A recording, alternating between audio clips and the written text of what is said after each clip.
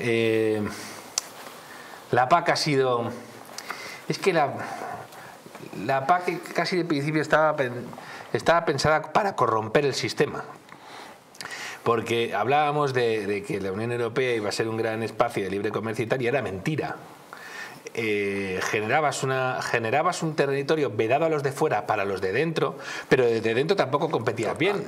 Eh, acuérdate, eh, a España decían, tienes que producir 10.000 litros de leche, ¿cómo? Y tienes que sacrificar a no sé cuántas vacas, era una cosa como muy de comisarios del pueblo, de la Unión Soviética, una cosa demencial. Y además, era todo raro porque...